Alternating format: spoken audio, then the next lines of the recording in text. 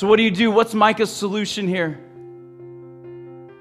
Commit yourself totally to hope in God. What does he say? I watch in hope for the Lord. It's one thing to watch out, and it's one thing to hope.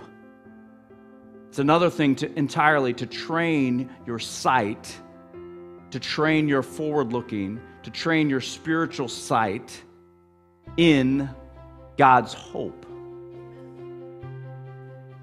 Can you train what you think about tomorrow in hope? Can you train what you think about your future or your retirement in God's hope? Can you train what you think about your kids and your family and the next generation in hope?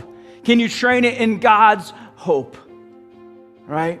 Hope in God. Every, everyone else in Micah's life was committed to hope in food or money or rain or the government or their military or an ally who might or might not help them or their own hard work and their own muscle. But Micah is making a radical, statement here. The only place that forward looking hope should truly be is in God. You know, when I think about my world and the political and medical upheaval and the starvation and the dictatorships, my hope is only in you, my God. I think about my country, the divisiveness, the anger, the godlessness, and my hope is only in you, my God.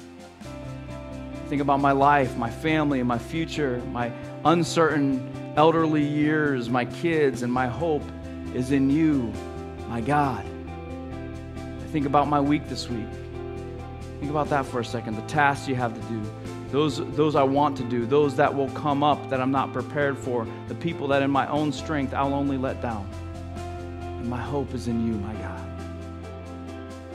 Micah's steps to breakthrough. First one is commit yourself totally to hope in God. 100% don't change the channel.